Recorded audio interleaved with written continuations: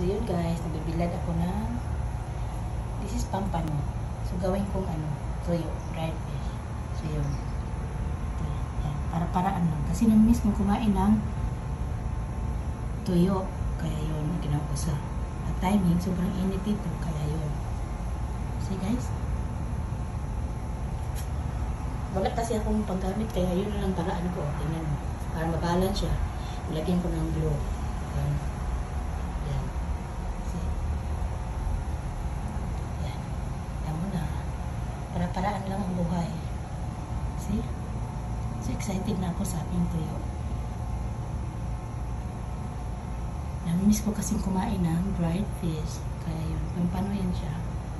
So yun. Dito yan ginawa ko sa backyard. See guys? Yan. Yan. Sabangan nyo